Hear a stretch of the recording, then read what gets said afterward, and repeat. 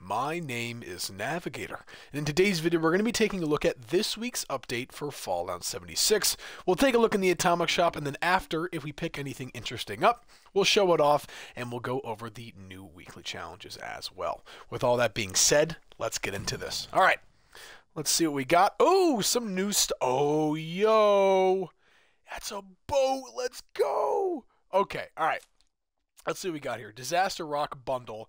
Seems like it comes with all of the new-ish stuff. We'll take a look at that all individually. What is this, though? Guild Headquarters. Oh, it's the Katie Inkwell thing.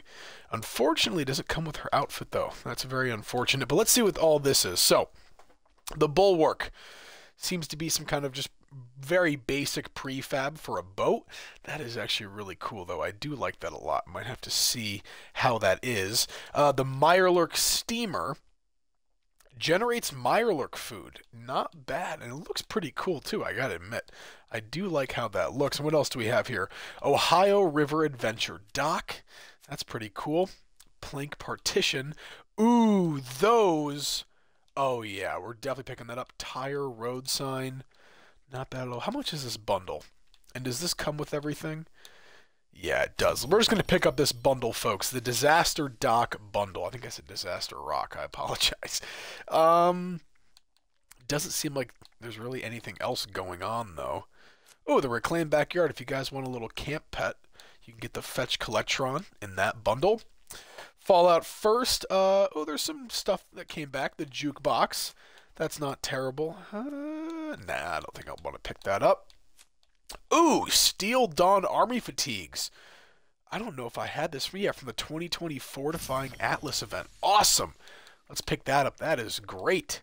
Love having a new outfit. Wow. Okay, so not a bad week.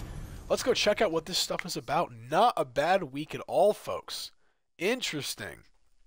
Some very cool stuff. I got to say, those partitions, they're going to come in handy very well. Although I want to see how this boat looks. I have to take a look at that loading in my private world here. Uh, yeah, I don't, I don't really know what to say. Um, do you guys know a wrestler by the name of Nick Gage? I don't know if you guys watch wrestling at all. I'm not like a massive fan of it, but I heard a story about this guy. He's like a wrestler, and he was really down on his luck. Bro walked into a bank without a mask on and was like, "Give me the money," and they gave it to him, and then he just dipped. I don't know. Crazy story. It's kind of off topic, but trying to make some conversation and make light of this long time that we're going to be waiting here in the uh, loading screen. All right, here we go. We're back. And I think that, yes, I do have a camp down here where I can throw this stuff down. So let's activate that if I can. Come on, baby. Oh, don't tell me that. There we go. There we go. All right. Let's fast travel over here and we will see what we're working with.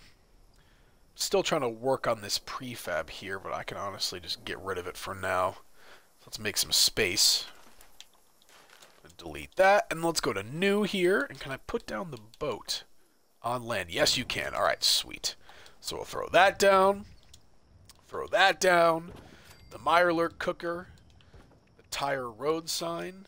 The dock. Let's kind of make a, a two-part thing of it. And then these partitions.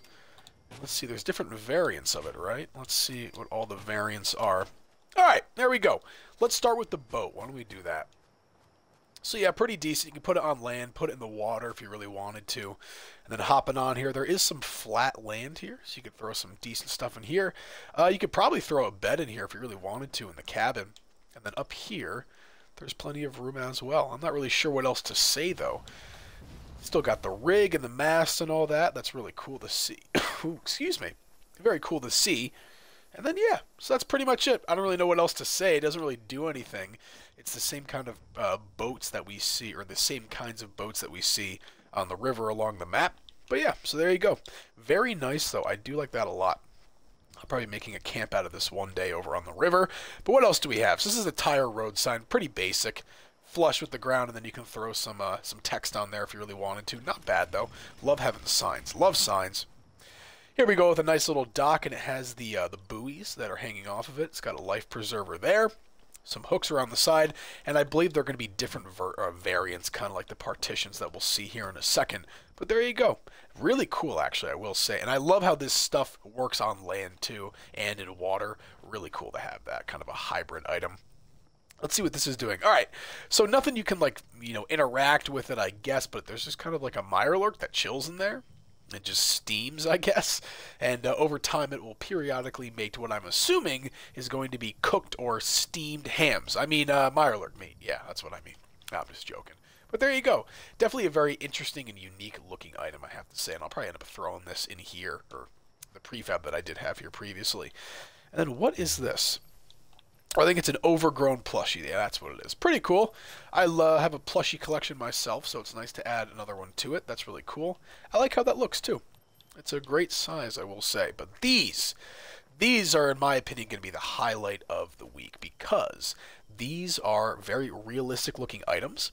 And uh, they're kind of like what you'll see around raider camps, although they have more of a marine theme to it, kind of like a ocean boating theme they still come in handy a lot. You could use them as fences, you could use them to kind of cover parts of your base, but very nice. We have kind of a barbed wire topped variant here with some uh, steel plating on it.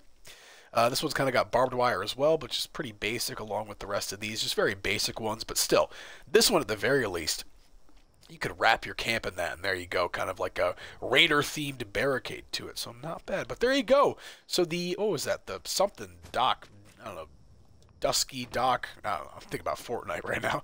But yeah, that was a really cool bundle, I do have to say. A lot of great items. And you know what? I did call it yesterday. I said that I was holding out hope for this week to be decent, and it definitely was. This made my week. Some really cool stuff here, stuff that is very useful for a lot of people. So there you go.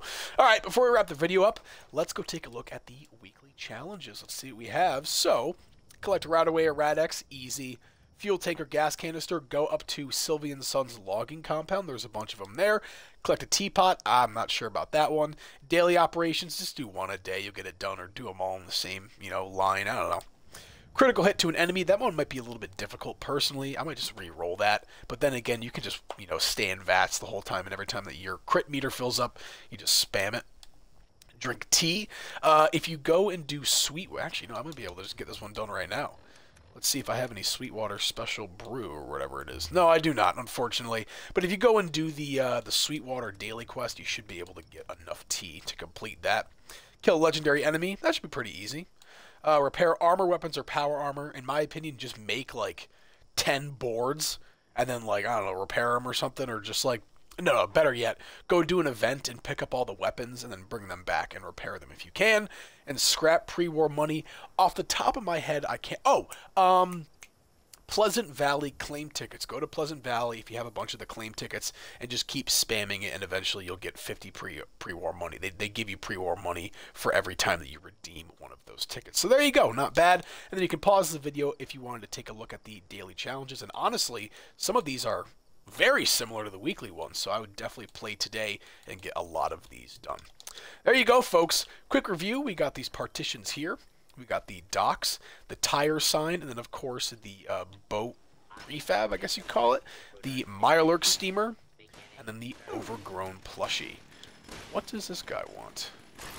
These guys, I should say. Get out of here. Get out of here. This is my property not going to let you guys impede on it. Stand my ground. Yeah, there you go. All right, folks. Well, that is all that I have today. We have a really awesome, really awesome week for the Atomic Shop, I do have to admit. And uh, yeah, I'm very excited to see what the following weeks will bring. And once again, as a reminder, this weekend from January 11th until January 15th, we will have a Double Mutations and Gold Rush weekend. As always, folks, my name is Navigator. Have a nice day. Take care.